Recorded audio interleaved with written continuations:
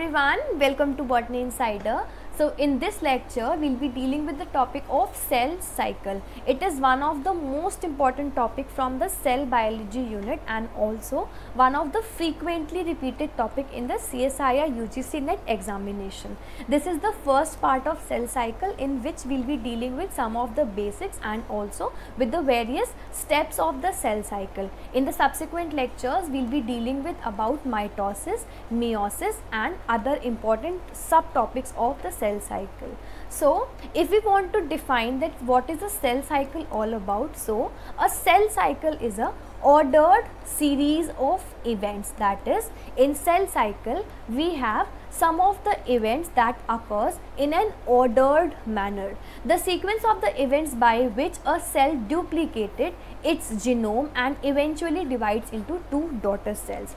Cell cycle it means that when a cell undergoes an ordered sequence of events and this cell cycle is for the reason of कि cell को अपना number increase करना है. That is the cell have to increase its number that is the reason why the complete process of the cell cycle and cell division occurs there occurs coordination and regulation. That is because division of the cell is a very crucial part of the body or it is a very crucial mechanism in the body. Hence there requires coordination and also the regulation as well. Now there are some cells that divide on stimulus. Now we have some cells or in our body we have cells some which divides throughout our life and some others of them are the first one is the cell which divide on stimulus what is stimulus so stimulus in very simple word means external function that is जब किसी cell को कोई external signal मिलता है to divide at that particular time the sales divide for example the lymphocytes hepatocytes and the fibroblast And there are some cells which do not divide हमारी body के अंदर कुछ सेल्स ऐसे भी होते हैं जो डिवाइड नहीं करते. The first one are the muscle cells then we have R B Cs and the nerve cells R B C stand for the red blood cells which we have in our body so reason the red blood cells do not divide is that they do not have the nucleus or the red blood cells are enucleated and hence they do not divide in the lifetime. So now, let's discuss about the various types of cell division. अभी तक हमने पढ़ा कि cell cycle actual में होता क्या है।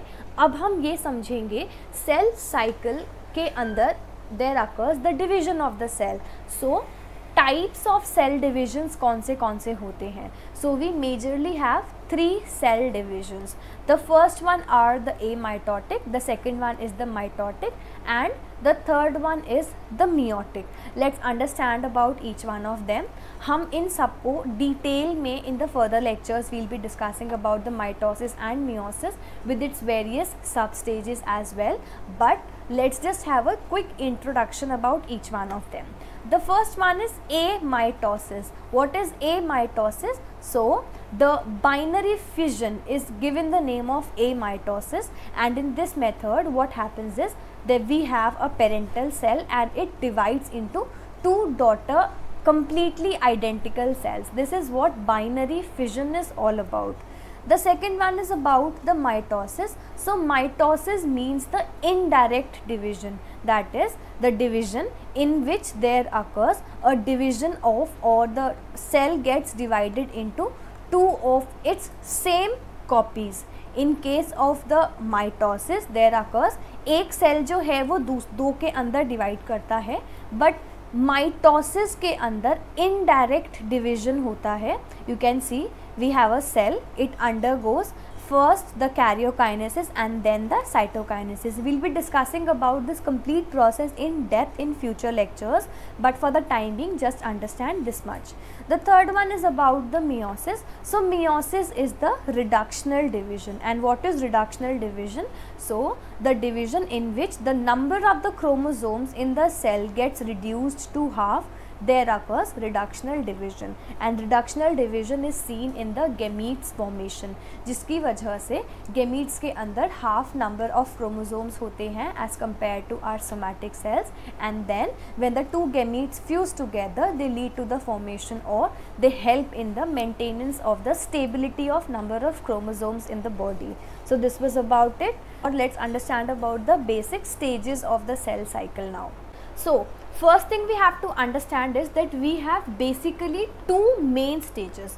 The first stage is the interphase and the second stage is the M phase. So in case of the interphase, we mainly have three substages and that is G1, S and G2. So the G1 phase is basically for the growth for the S phase we have the DNA synthesis. In the G2 phase we mainly have the growth and the preparation of the mitosis and the M phase which is the mitotic phase or the meiotic phase depending upon which cell division the cell is undergoing and this completes the one complete cell cycle. So we have the first stage as the G1 stage, then we have the S, then we have G2 and finally the M phase of the cell cycle. Now, so you can see we have the cycle being divided into two phases. The first one is the interphase and the second one is the division phase. The interphase is given the name of the preparatory phase which includes the G1 phase, S phase and the G2 phase. Then in the cell division or the division phase we have two sub stages the first one is the nuclear division and the second one is the cytoplasm division. The nuclear division is given the name of the karyokinesis and the cytoplasm division is given the name of the cytokinesis. In case of the nuclear division it could either be the mitosis or meiosis depending upon ki cell kis cheez ke uh, depending upon the cell is undergoing which particular cell division type so, as you can see, so first we have the G1 phase. G1 phase is the first growth phase and in this the growth and the normal metabolic role occurs. Then we have the S phase in which which is the second substage of the interphase in which there occurs the most important work that is the DNA replication.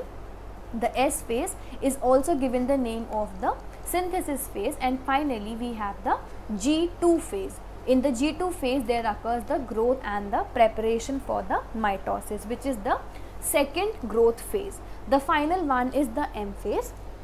So, in the M phase we have four sub stages that is the prophase, metaphase, anaphase and the telophase. So, these four sub stages of the mitotic phase. They are the sub stages of the mitotic phase and finally the cell gets completely divided into two of its daughter cell. So this was about the complete overview of cell cycle. So now let's understand about the four stages जो अभी हमने discuss किए that is the G1, S, G2 and the M phase in a bit depth. The first one is the G1 phase. So in the G1 phase, the first thing we have to remember is that it is for 11 hours. There occurs increase in the size.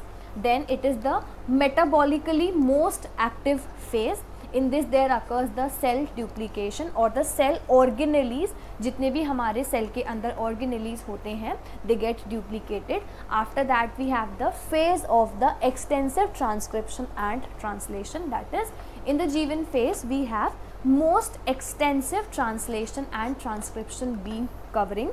Then after this there occurs in this phase itself the S phase protein synthesis occurs in this particular phase.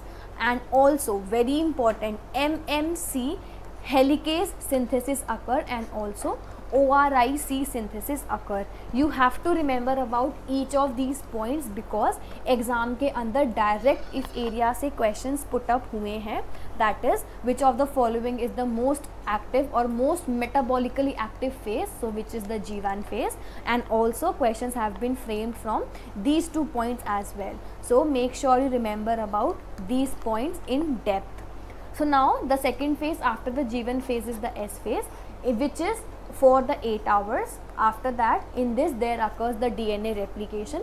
As it is same question have been put up that in the, in the S phase which are the following or what are the main work that occurs in the S phase. So first thing is the DNA replication. After that there occurs histone synthesis. then there occurs the MCM activation.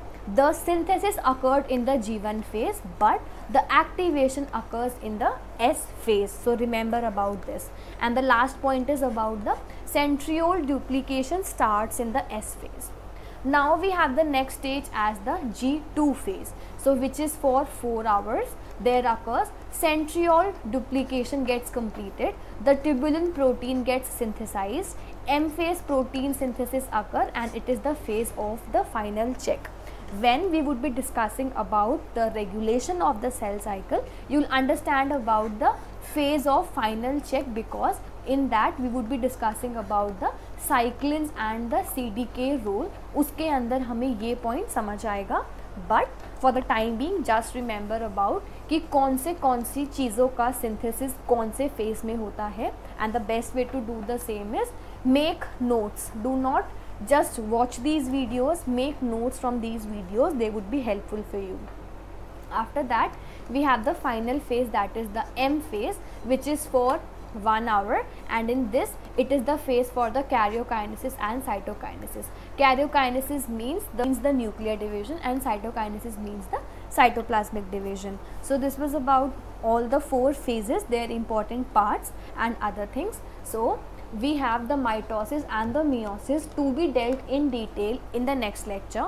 So in this lecture what we have discussed just try to make notes of the same and follow the subsequent lectures for more detail of this particular topic. So I hope this video was helpful for you and if you like this video please do like, share it with your friends and please subscribe to my channel. I'll be coming up very soon with the more parts of this particular topic and all other informative videos as well. So thank you so much everyone for watching and I'll see you soon. Bye.